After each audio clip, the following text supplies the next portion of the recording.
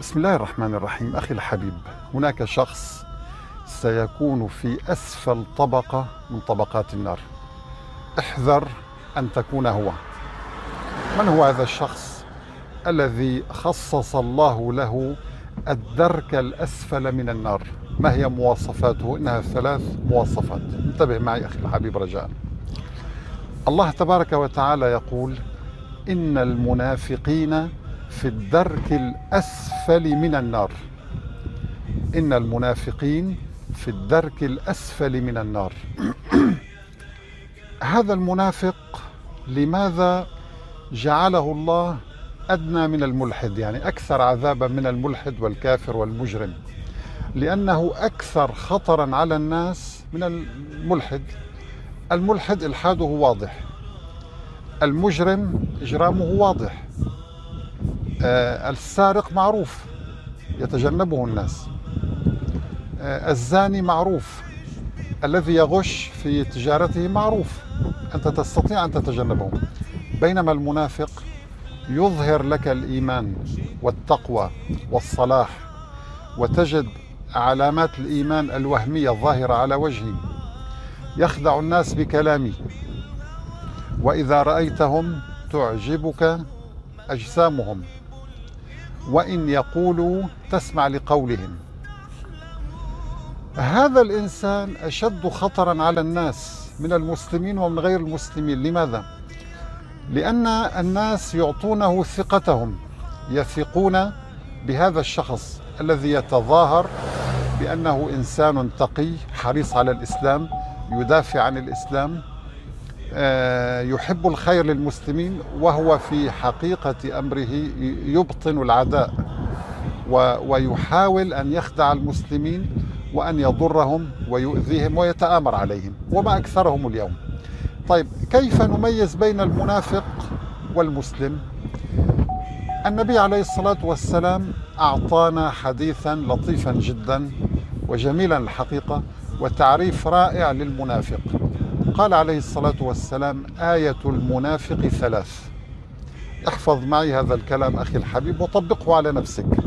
سوف نكتشف في نهاية هذا الفيديو أن نسبة من ينطبق عليهم هذا الحديث للأسف نسبة كبيرة جدا بين المسلمين. لذلك اليوم المسلمون في الدرك الأسفل للأمم بالنسبة للحضارات والتكنولوجيا. أول صفة للمنافق إذا حدث كذب قبل أن أكمل هذا الحديث يجب أن تنظر إلى نفسك وتسأل هل أنت تكذب؟ يعني هل كم مرة تكذب في اليوم؟ كم مرة تكذب في تجارتك إذا أردت أن تبيع شيئا لا تعطي معلومة صحيحة للآخرين كم مرة أخفيت معلومة عن الآخرين؟ كم مرة كذبت على زوجتك أو على أبيك أو على صديقك؟ كم مرة إذا سئل عنك آه، تتظاهر بأنك لست موجودا أو أنك كنت كذا أو كنت مسافرا؟ كم عذرا تقدم كل يوم للآخرين لكي تبرر عدم التزامك بعملك أو مواعيدك أو كذبك أو إلى آخره. يعني تعالج الكذب بكذب آخر. كم مرة؟ أنت بينك وبين نفسك قيم نفسك بناء على هذا الحديث. إذا إذا حدث كذب تجد المنافق يكذب. وسبحان الله يعني كلما كان المنافق شديدا في النفاق كلما استطاع أن يقنعك أكثر بحديثه. كلما استطاع أن يوهمك بأنه صادق. طيب ما هي الصفة الثانية؟ النبي عليه الصلاة والسلام يقول وإذا اؤتمن خان. سأعطيك تجربة بسيطة تستطيع أن تختبر في مجتمعنا اليوم كم نسبة من يخون الأمانة. تجربة أو اختبار بسيط. أنت بينك وبين نفسك إذا أقرضت شخصا مبلغا من المال من دون أن تأخذ أي ضمانات وقلت له وكفى بالله وكيلا وكفى بالله شهيدا. الله شاهد علينا. خذ هذا المبلغ وأرجعه في الموقع في الوقت المحدد أو التوقيت المحدد. كم نسبة الناس الذين يلتزمون بأداء الأمانة ويعيدون هذا المبلغ في التوقيت؟ أنت فقط أجب أنا لا أريد أن أجيب. لأن لأننا إذا قمنا بتجربة على الواقع ستكون النتائج كارثية. ستكون كارثية. نحن اليوم في المحاكم ودور القضاء آه، ودوائر الشرطة تجد آه، أن شخص يقرض شخصا مبلغا ثم آه، يأخذ كل الضمانات. شيك بلا رصيد يأخذ سند أمانة يأخذ شهود تواقيع كل ما تتص... على الرغم من ذلك يأكل هذا المال نسبة النصابين اليوم كم هي؟ طيب نسبة من إذا أتيح له أن ينصب ويأكل أموال الناس كم هي النسبة؟ ليس كل الناس متاح أمامهم أن يأكلوا أموال الآخرين. ولكن إذا أتيح لك وكنت في مطلق الحرية فقط الله شاهد عليك. كم نسبة التزامك بالأمانة؟ إذا إذا كنت أنت لا تؤدي الأمانة لأهلها إذا أنت تقع تحت هذه الصفة الثانية التي أخبر عنها النبي عليه الصلاة والسلام وإذا اؤتمن خان. الصفة الثالثة وما أكثرها اليوم أحبتي في الله. وما أكثرها للأسف عدم الالتزام بالموعد.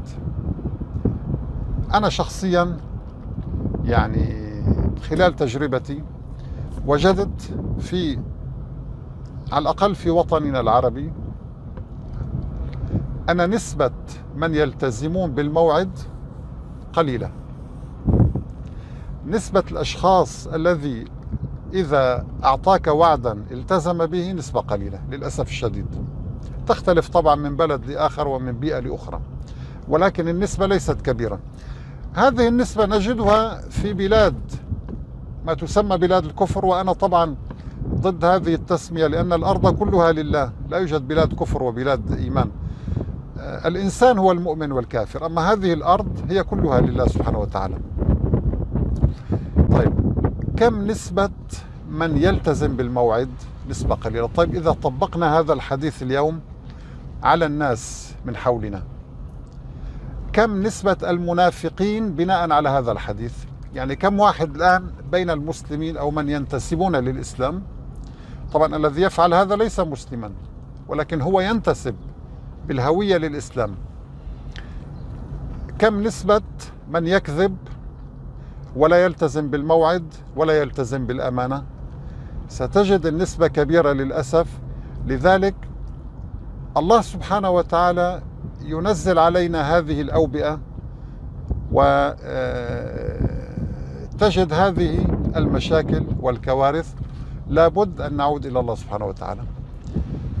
أرجو أخي الحبيب أن تتذكر هذه الآية وتحفظها.